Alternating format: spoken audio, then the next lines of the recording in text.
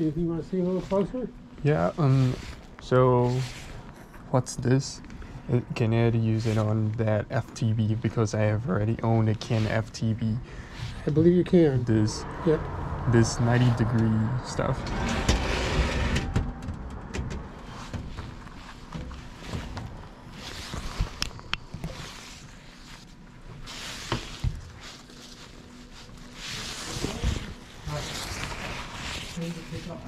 Wow. can I can I see it? Sure. Sure. Then, then you can do close-ups. Focus easier. Oh. Or So the can image shoot will waist be level. bigger? Yeah. You Oh. It's got it in, in I, I it's got thought it just magnification change to it. change the Yeah. You- angle. You, you, can oh. change. You can change the magnification. Wow. magnification. Okay. Right here's a switch to change magnification. This is for whatever angle you're working. Wow. Okay. A lot of people use it for copy work or microscope, telescope. Get critical focus.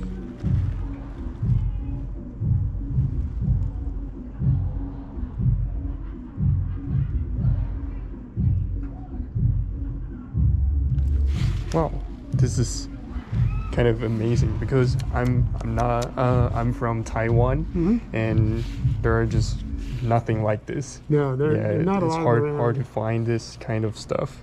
So this is my first time to sit in in person.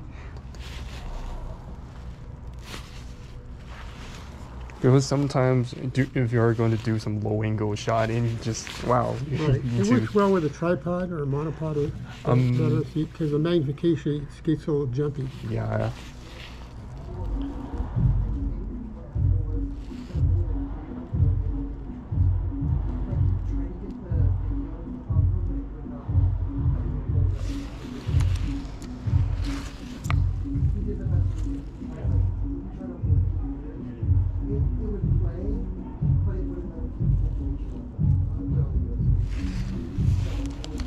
So, oh, magnification. Okay.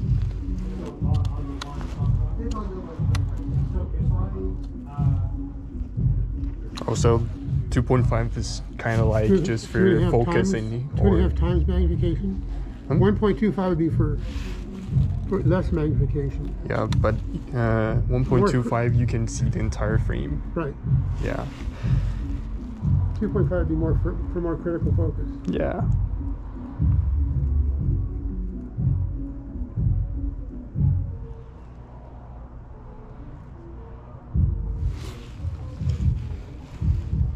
So how to take it off? Slide straight up. Just slide. Okay. Oh, so, so this is the adapter, kind of stuff. Yeah.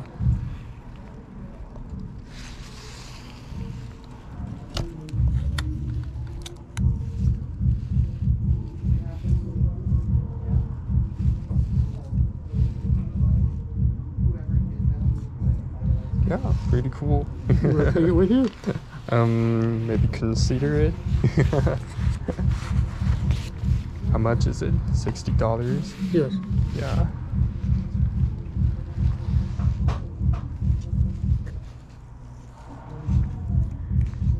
They're very useful, very handy. Yeah.